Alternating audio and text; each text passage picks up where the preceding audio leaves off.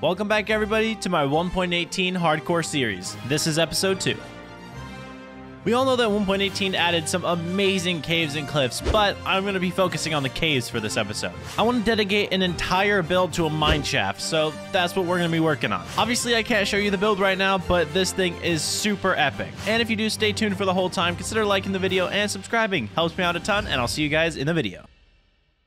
Alrighty, we are back in 1.18 and we have some things to do today. First off, look at the house, still looking beautiful as ever, but I think it's a little lonely on this cliffside. I think we need to add another building or, well, hopefully a few. Alright, so we have this flat area down here, right? And uh, I want to terraform everything that's on this side of the river today because this area right here, I want to turn into a mine. And uh, I have an idea for it, but this entire section needs to be terraformed. So basically today we're going to be doing a lot of terraforming and then a really, really awesome mine. And to do that, we're going to need a lot of blocks. We're probably going to have to enchant some things eventually. And uh, yeah, probably a lot of tools. However, when it comes to enchanting, we uh, we don't have a lot of sugarcane and our our where is it? There we no where hmm, i organized everything i swear. Yeah and our leather not great. We do have the cows but we don't have enough sugar cane so we can't even do that yet. But what we can do is we can take a diamond we can take a couple sticks here and we can craft we don't have a crafting table up hmm okay that's gonna have to be fixed. Craft ourselves a diamond shovel which will definitely outmatch our iron one for sure and hopefully get us enough dirt to do all of this terraforming. Now that we're on the other side of the river i'm looking at this and this is gonna be a lot of work okay? First off i want to terraform it so that it curves a lot better than how how is it like so cubey? How is this how is this so cube Okay, I'm asking that and I know it's Minecraft, but still. Maybe for today's episode, we build the mine and we terraform this area here instead of all of this because we haven't even gotten over there yet and I think it's better to stick to where we are. And this is the mother of first things first, so let's gather a ton of dirt and hope that we're gonna have enough for this project.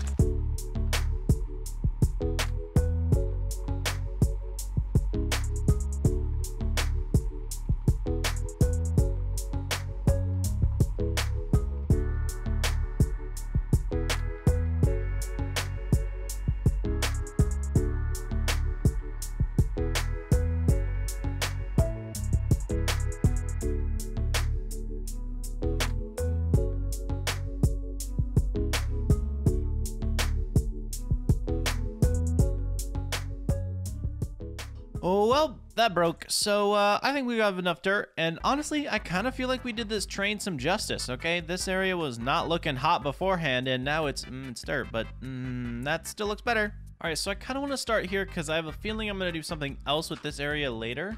And I just, uh, hmm, I want to cover this up because I don't like it that much. And Ooh, you're gonna get covered up, bud. But I just want to make this area look a little bit, you know, more natural, which is funny because I'm trying to make Minecraft look natural even though currently it looks natural. Yeah, I know it's like the, hmm, okay. I'm just trying to make it look better, okay? That's all I'm trying to do. Make it look a little bit better. And I believe I can do that if, you know, I successfully pull this off. I've never terraformed anything correctly in my life. So this is uh this is definitely a first for me. I don't know. I'm already not loving it. So that's, hmm, that's good. Okay, so I've made myself an outline here of what I kind of want it to be, and I realized that I, I went that way too, and I probably shouldn't have because I want to stick with this area today, and hopefully for this foreseeable future, this area will be done, but for now, I want to stick over here. Look, bud, I...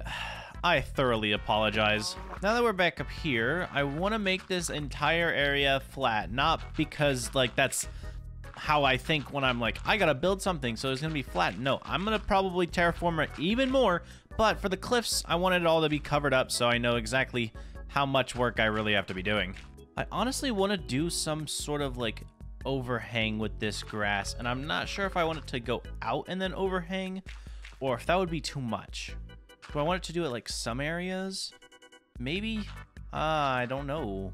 Okay, so my plan failed. Um, I have no idea what I'm gonna do, but I made it two, two down. I guess I, I guess that's what I'm. I, I was planning. I don't know. I have no clue. But we're gonna have to clear out some of this mountainside here if I want to actually pull this off. And I believe Uh, I don't know what to do, but I want to bring some of it down a little bit here and there so that it's a bit staggered because otherwise it's going to look extremely man-made. So we're just to hang some of it down a little bit here and there so that it's uh, it's like covering the stone a little bit, hopefully, once I get stone. Yeah, I think this stone will do. All right, well, I believe this is to be our, our stone collection area, and uh, you will not look the same after this, bud.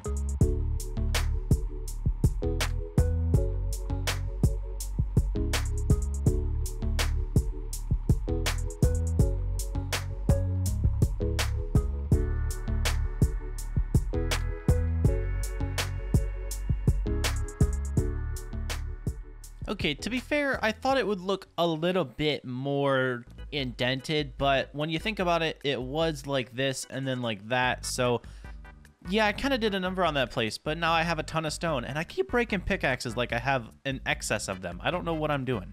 But I guess it's time to turn most of this into stone, so that'll be a very long and great process of waiting. Okay, so I have a few stacks of stone ready, and of course there's already a creeper down here. Good thing I brought some torches. And now that that's dealt with, we just add in our stone and hopefully a cliff pattern. We'll see how this turns out. Okay, new plan. I'm gonna make the stone and the dirt drip down and then it gonna go into a straight on on stone wall because I don't really want to make it like curve out like an indent.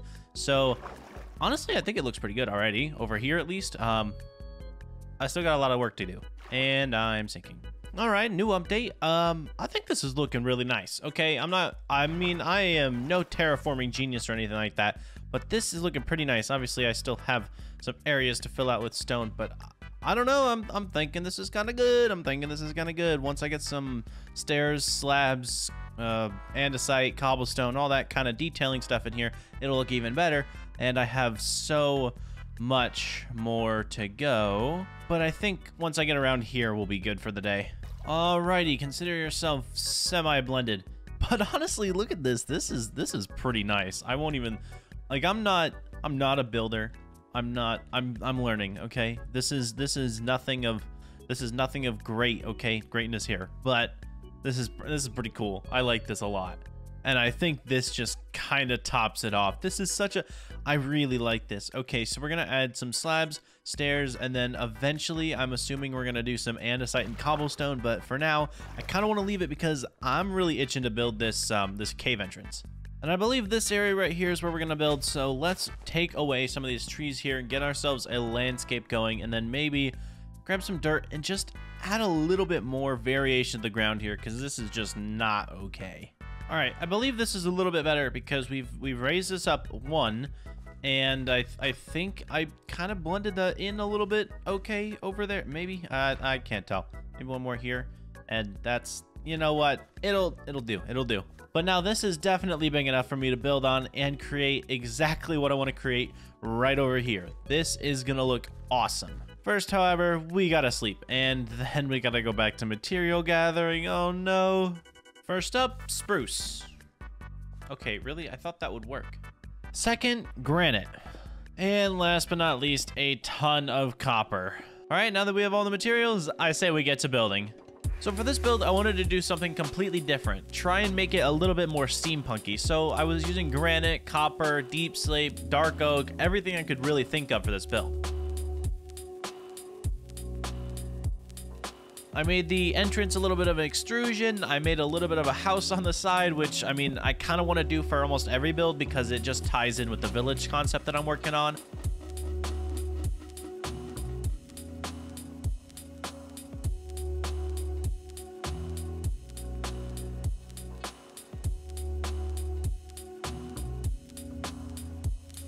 Then whenever I moved over to the copper tower, I wanted to use dark oak on the side because I've already been using that with towers, and I think it looks a little bit better when it comes to this color scheme because I'm already using it down below. And of course, I use spruce accents on it because, I mean, it's spruce. You have to incorporate spruce in every build at this point.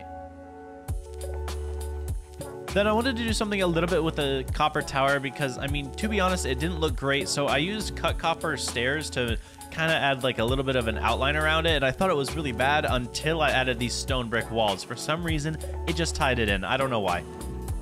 Then I did a failed attempt on the top of the granite box with some dark oak, but later fixed it with granite and spruce, which somehow made it look even better.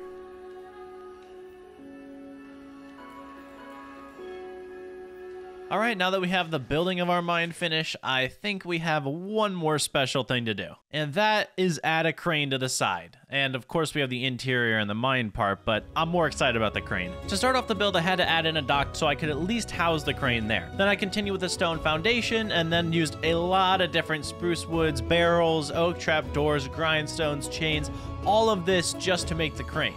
Basically, I wanted to make a little bit of a story behind the crane, and I'm sure as I develop this world, I will add a lot more to this area. Obviously, there's stone holding up the back, and there's this little trolley on the end so that you can pull stuff up. I don't know exactly what this is used for yet, but I'm sure we'll come up with the lore later. And I definitely have to say, this is probably my favorite build of the world, just because of the little minuscule details that I've added. Okay, I think this build turned out a lot better than I planned. I mean, look at this. We have a crane for our our mine, and I don't know if I love where this is currently located. I might want it one lower, but for now, it's at least on equal height here, so like it kind of looks like it's being brought over. I, I don't know yet, but anyway, this looks really cool.